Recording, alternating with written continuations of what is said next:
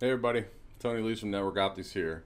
Uh, today I'm going to tell you guys about generic event uh, API and I'm going to show you guys a practical example of how to integrate uh, third-party analytics uh, using the HTTP generic event API um, and I'm just going to kind of walk you through it.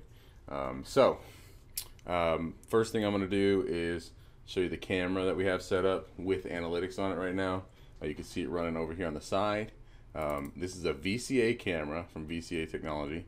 Um, they make um, cameras with in-camera analytics and something special about these cameras as well. They have an http event engine so they can send http requests as an action when their camera uh, has detected an event. So in order to do that um, let me just show you the company real fast. This is vca technology. We're using a vca 302 right now to give this demonstration.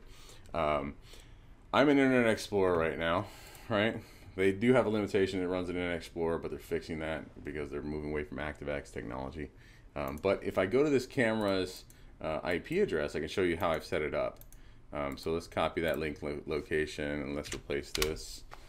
So now I'm into the setup for the camera. Um, I'm going to go to the setup page.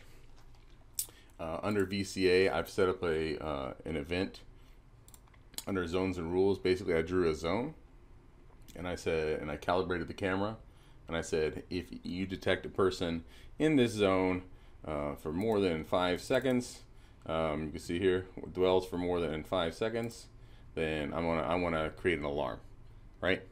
VCA is really cool because they they actually burn in the analytics um, directly into the camera itself, so it's really easy to integrate them and also get a good visual for what's going on out there. Um, for example, if I want to change this zone to blue, I can change it to blue. So I kind of like their stuff because you can really uh, customize exactly what the area of the zone is going to be, how it looks on your screen and everything. So I've, I've set up that uh, event. If anybody dwells outside my door for five seconds, I get a notification, right? Um, underneath their event configuration, you add HTTP, or sorry, you go to the HTTP notification section. And here you can see I've added a rule. And that's the, I've added an HTTP notification. If I go to the notification itself, you can see that I've set it up, um, I've given it a name. That's just for me to remember what it is when I look at this, so I can set up multiple events in this camera. Um, I can look at, I have a description just again for me. Now the address is very important. Basically, this is where where this HTTP notification is being pushed to, where it's being aimed at, right? So in, in our case, it's going to be uh, one of the NX Witness servers. In my system, I've got four servers. I've got uh, one, two NX2s. I've got, uh, sorry, two NX1s. I've got one NX2. And I've got this tower uh, machine, which is actually just a Dell desktop machine that I'm running this client and this recording on. So that's .205, and that's the machine that I want to push this notification to. So I've aimed this notification to that. I put it on port 7001, which is great because that's what all of NX Witness works on, unless you go in and modify it. So if you haven't modified it, port 7001. Uh, under account, I want to put the login um, for the admin and the password for the uh, admin for the NX Witness system um, so that I can authenticate with the server when I'm sending this command. Um, and then under message is where I want to put the API call. Now, how do you build an API call? Um, if you go to your NX Witness system and you open up your web client um, and you go to, you log in, and you go to the for developer section and you click on the API documentation, um, you're going to see a bunch of API calls.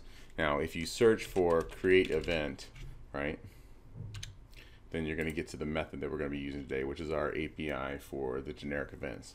So using this method, basically, you can send generic events to NX Witness from any third-party system. Sometimes they're in camera and they have their own HTTP engine. They can just create these strings out of um, out of the interface. Sometimes you have to have a coder create a little bit of middleware that sits between a system that doesn't have HTTP um, capabilities. Um, but developers will understand this. Uh, so if you work with a developer or you have a guy on your team who develops, then you can point them at this and it should be pretty clear. Um, there are parameters when you build a string um, where you can put in timestamps um, the source is the device or the system name that's connecting or sending us that information so we can identify it. Um, caption is a short event. Um, description is like a long event description. Um, you can use it if, once we get these descriptions and captions and everything, we can use that to create uh, specific events inside of NX Witness and specific actions um, by using search tools, which I'll show you in a second. And then there's metadata um, and also the state. Um, state is like if you want to keep this event active until the, the state has modified back to inactive, you can do that as well. So, um, so basically, if you click here and you go to try method, then you're going to be shown kind of the beginning of a string. And what that is is okay. So if I create do a create event, um, and then I put a question mark and I put source equals Tony's. Oops, sorry. Tony browser.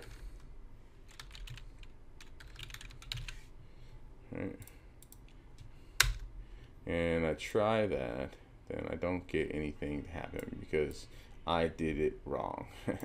so the, the way to do it though, boop, API create event. Pull it back up. So point it at the right IP address, create event, let me open up my notepad and pull up the long version of it. Source equals ba, caption equals ba.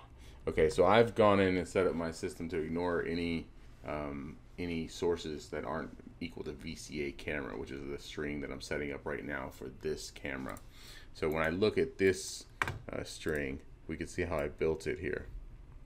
So basically, let's paste it. This is the beginning of the API call. API equals create event question mark. Source is again the name of the system of the device. Caption is a description, right? So in between the source and the caption, we add an and sign, so we keep the string going. Caption equals zone. Um, these these percentage mark 20s is a spacing um, for this encoding from this device. Um, violation and zone violation is the caption. Description is somebody is in the zone. Okay. So if everything works properly and the demo gods are smiling upon me, then when I close this out, then what you're going to see is when I walk outside my office, um, when I'm about to open that door and I stand in that yellow zone, we're going to get an event over here that says um, source or says uh, there's a zone violation. So let's take a look at that, right?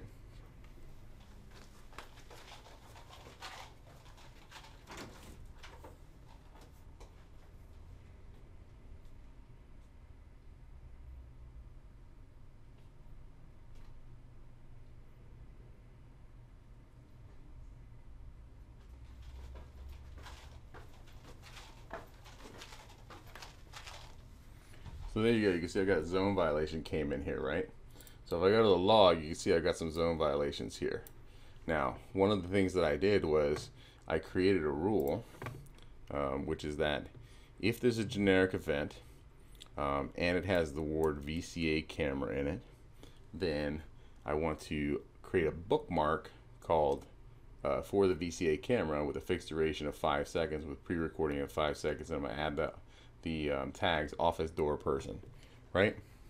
So I've already set up this rule. So if that device detects uh, a zone violation, it will send us a generic event, and then I'll take that generic event and turn it into a bookmark for this camera, right? So if you look down here, then there was a, there were two bookmarks that were created because uh, I stood there for too long apparently. So when I go press play, then it will pull up that particular zone violation that I just had, right? So again, that's generic event. It's a really cool, uh, really powerful way to um, integrate third-party systems into NX Witness and use those integrations to create event rules, bookmark video, um, move PTZ cameras, do anything you can do with our events and rules engine. Thanks, guys.